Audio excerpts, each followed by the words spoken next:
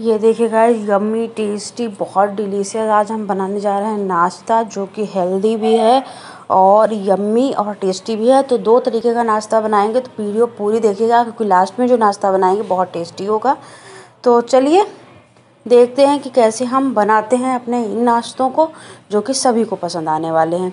Hello everyone, आप सबका स्वागत है हमारे यूट्यूब चैनल छाया मिश्रा में। गाइस, आज हम बनाने जा रहे हैं बेसन का यम्मी सा ढोकला, जिसमें कि ना चीनी की ज़रूरत होगी, ना फूलने का झंझट होगा, ना इनो की ज़रूरत होगी, किसी भी चीज़ की ज़रूरत नहीं होगी। बहुत यमी बहुत टेस्टी सा ढोकला बन करके तैयार होगा। दो तरीके का नाश्ता बनाएँगे तो चलिए देखते हैं।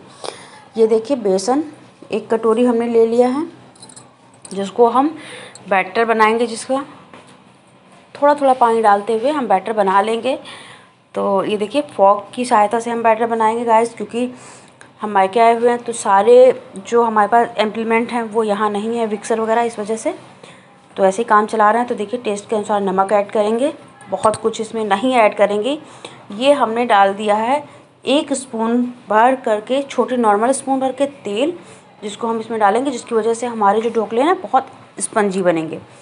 और ये देखिए, इसका, इसकी कंसिस्टेंसी आप देख सकते हैं कि हमारा बैटर में जाते ही गिरते ही मर्ज नहीं हो रहा है, थोड़ा टाइम ले रहा है, फिर मर्ज हो जा रहा है। तो देख सकते हैं, अब इसमें एक हम पेस्ट बना लेंगे। लहसुन, दस से बारह कलियाँ लहसुन की ले ली हैं, मिर्च।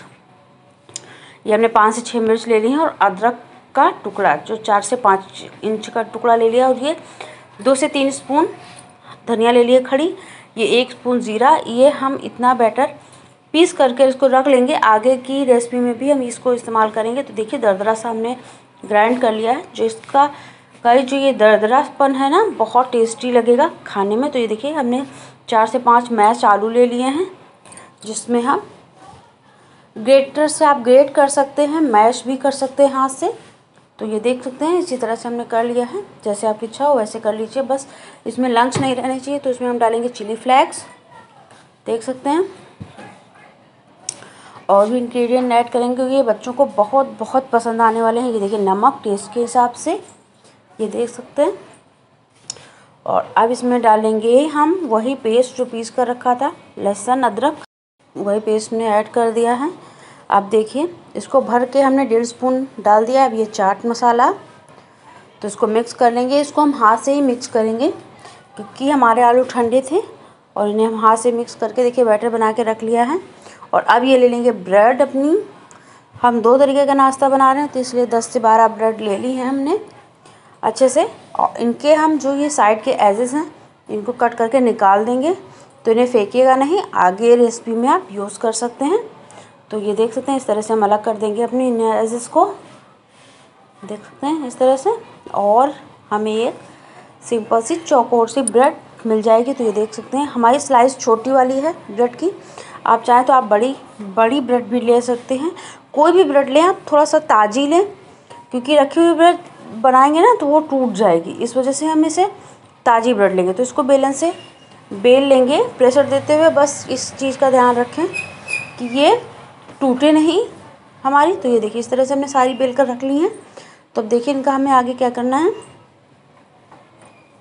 ये देख सकते हैं गाइस हम इसमें लगा लेंगे अपना टोमेटो केचप, क्योंकि हम ये बच्चों के लिए बना रहे हैं। ठीक है? क्योंकि बच्चों को ये चट्टा, मिठा, ये सब खाने को मन करता रहता है। खाना वगैरह नहीं ज़्यादा अच्छे से खाते हैं तो इस वजह से ये हमने ले ली है ब्रेड, इस पर हमने लगा लिया। इस पर हमने टोमेटो केचप लगा दिया है गैस और अब इसे हम क्या करेंगे? इस पर अपने जो आलू का बैटर बना करके रखा है, इसको हम लगाएँगे और रोल कर लेंगे इसको। ये देखिए, इस तरह से रोल करेंगे हम इसे। देखिए टमाटो केचप लगा लिया है और इस पर अब हम अपना जो बैटर बना करके रखा है, उसको हम रोल कर देंगे। देखिए, हल्के हाथों से टाइटली हमें रोल करना है, जिससे कि रोल हमारा अच्छे से बन जाए और ये खुले नहीं। तो इसी तरह से हम कर देंगे। और देखिए, ये साइड में खुला हुआ आपको दिख रहा होगा तो कोई प्रॉब्लम नहीं, क्योंकि अभी इसमें एक हम स्टेप करने वाले हैं, उसकी वजह से ये अच्छे से कवर हो जाएगा। तो ये देख सकते हैं, इस तरह से हम टमाटो कचप लगा लेंगे सारे पे। तो इसी तरह से हम सारे बना करके रख लेंगे। देख सकते हैं, ये देखिए। तो ये देखिए, इस तरह से हम रोल कर लेंगे। सबसे इजी तरीका बता रहे हैं अब आपको। इस तरह से रोल कर लेंगे रोल करने में आपको इजी हो जाएगा। और बस इसी के चारों तरफ़ हमको ब्रेड को लपेट देना है इस तरह से। और बस बन करके तैयार हो गया। इसी तरह से हम अपना सारा बना लेंगे। तो इस तरह से देखिए, बना लेंगे। ये देखिए, सारे बना लिए हैं और आप चलिए आगे का प्रोसेस देखते हैं। कि आगे हमें कैसे करना है? तो देखिए, हमने पानी को रख दिया था, एक गिलास पानी भर करके हमने एक पतीले में रख दिया था और ये ले ली छन्नी। इसमें हम थोड़ा सा ऑयल ऐसे करते हुए हाथ पर लगा देंगे। तो स्टीमर अगर नहीं है तो कोई ज़रूरत नहीं है। आप स्टीमर से बना भी सकते हैं। तो ये देखिए, इस तरह से हम लगा लेंगे। और देखिए, आपको रखते हुए नहीं दिखा पाएँगे शायद। तो देखिए, किस तरह से हमें करना है? क्योंकि यहाँ स्पेस थोड़ी सी कम है। किचन कुकिंग के हिसाब से नहीं है, क्योंकि मायके में है। ससुराल में थे तो दो किचन तो वहाँ है ही हैं। तो एक हमारा इसी यूट्यूब के लिए ही किचन हमने बना रखा है तो उसमें इजली हो जाता है हमारा सेटअप तो ये देख सकते हैं, इस तरह से हम कोट कर लेंगे। देख सकते हैं, इस तरह से। तो इसको कोट करते हुए अच्छे से कोट करेंगे, जिससे कि चारों तरफ़ से अच्छा रहे। तो ये देखिए एक्स्ट्रा जो होगा फॉक की सहायता से निकाल लेंगे। और जो एक्स्ट्रा होगा बैटर वो इसमें गिर जाएगा। तो ये देखिए, इस तरह से हम रख देंगे अपनी छन्नी पर। तो ये स्टीमर का काम करेगी हमारा। तो इसी तरह से हम सारा का सारा रख लेंगे और थोड़ा दूर दूर गैपिंग में रखेंगे जिससे कि आपस में एक में ही चिपके नहीं। तो देख सकते हैं, इस तरह से हमने ये रखा हुआ है। गाइस जो लोग डाइटिंग करते हैं, जो लोग ज़्यादा ऑयल वगैरह नहीं खाते हैं, वो, उनके लिए यह नाश्ता बहुत बहुत ज़्यादा अच्छा है। तो ये देख सकते हैं, ऐसी इसी तरह से हम सारे रख लेंगे जितने भी बनाने हैं और उसको ऐसे कवर करके दस मिनट के लिए छोड़ देंगे, क्योंकि देखिए सारा बैटर हमारा पक्का हुआ है। कुकड है, कुछ भी कुक करने की ज़रूरत नहीं है। तो इसको हम इस तरह से कुक कर लेंगे तो दस मिनट लगेगा। तो ये देखिए, जब तक वो हमारा कुक हो रहा है, तब तक हम दूसरा बना लेते हैं। तो ये रख लिया हमने कढ़ाई, और कढ़ाई में डाल दिया ऑयल तो ये देखिए, कढ़ाई में इस तरह से हम लपेटते हुए अच्छे से इसको कर लेंगे फ्राई देखिए, आप इसे ब्रेड पकौड़े का भी इसमें टेस्ट आएगा और ब्रेड रोल का भी टेस्ट आएगा तो देखिए इस तरह से हम आराम से कुक कर लेंगे, जो कि खाने में बहुत टेस्टी लगेगा, जो डाइटिंग नहीं करते हैं, जो थोड़ा सा ऑयल वगैरह खाते हैं तो उनके लिए ये नाश्ता बहुत अच्छा है और बहुत जल्दी भी बनता है। तो इस तरह से हम उलटते पलटते इनको फ्राई कर लेंगे। इस तरह से, इस तरह से उलटते पलटते अच्छे से फ्राई करेंगे। और धीमी फ्लेम पर ही करेंगे। फ्राई इसके लिए बहुत हाई फ्लेम पर नहीं करेंगे, वरना ये जल जाएगा हमारा। जो भी है, क्योंकि सारी चीज़ें पकी हुई हैं कुकड हैं तो इनको ज़्यादा देर फ्राई नहीं करना। बस क्रिस्पी करने तक इसको पकाना है। देखिए, हमारा बन चुका है नाश्ता। बहुत टेस्टी बहुत यम्मी तो चलिए इसको हम अलग टिश्यू पेपर पर निकाल लेते हैं। जो उसकी एक्स्ट्रा ऑयल होगा ना, वो इस पर सारा चला जाएगा। ये देखिए, इस तरह से। तो सारा निकल जाएगा एक्स्ट्रा और चलिए अब इनको रखते हैं साइड में और देख लेते हैं कि हमारा दूसरा कैसा हुआ। तो ये देखिए, दूसरा भी हमारा अच्छे से कुक हो गया नाश्ता। इनको क्या करना है? ऐसे हम करेंगे। और देखिए गाइज़ ऐसे निकालने में थोड़ा सा प्रॉब्लम होगी। तो नाइफ़ की सहायता से, ये देख सकते हैं आप, इस तरह से। इस तरह से करते हुए आसानी से निकाल लेंगे। ये देख सकते हैं, इस तरह से। तो इसी तरह से हम सारे के सारे निकाल कर रख लेंगे और इसके हम देखिए, चार पीस करेंगे। और क्योंकि आप खाना चाहें तो ऐसे ही खा सकते हैं, बहुत टेस्टी लगेगा।